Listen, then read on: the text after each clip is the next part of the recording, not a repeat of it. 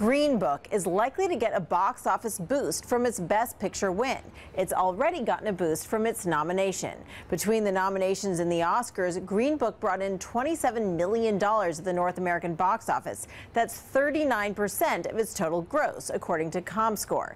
And the renewed Oscars attention should benefit the film's ticket sales even further. It is available to download, so it could see a surge there all while it's still playing in over 1,250 theaters. We looked at Best Picture winners box office boost after the Oscars, going back to 2005. These are the four biggest beneficiaries. In 2017, Moonlight brought in 21% of its total take after its surprise win. The artist and Slumdog Millionaire both drew nearly a third of their total take after their Oscar win. And Million Dollar Baby in 2005 earned 34% of its total box office after it won Best Picture.